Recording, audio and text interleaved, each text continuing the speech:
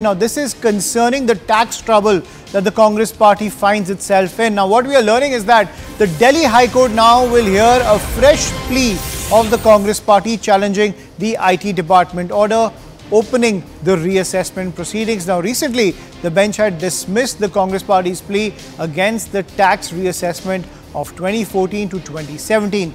The IT department said that the escaped income of the Congress is more than 250 crore. The High Court previously refused to interfere with the order of the Income Tax Appellate Tribunal, which declined to stay a notice issued by the IT department to the Congress for the recovery of outstanding tax of more than 100 crore. Ladies and gentlemen, that is the latest that's coming in when it comes to the tax trouble surrounding the Congress party. And I'm joined by my colleague Ananya Bhatnagar on the broadcast, who's getting us this piece of breaking news. Ananya, give us the details of the Congress party's plea as it approaches the Delhi High Court again. What is different this time around?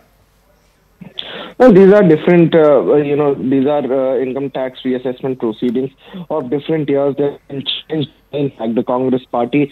Remember that, uh, you know, very recently the Delhi High Court had uh, in fact turned down its uh, uh, the Congress's petition with regards to you know uh, the reassessment proceeding with regards to 2014, 15, 16, and 16, 17. Uh, however, this uh, fresh plea, you know, the time period as of now has not been specified, and we'll have to wait and watch for the hearing tomorrow to actually know as to which particular year's reassessment is is the one which has been challenged before the Delhi High Court this time. So we'll have to wait and watch. and the most important question remains is that even after uh, you know, uh, the earlier uh, petition being dismissed, whether this is a good move that the Congress has actually preferred. The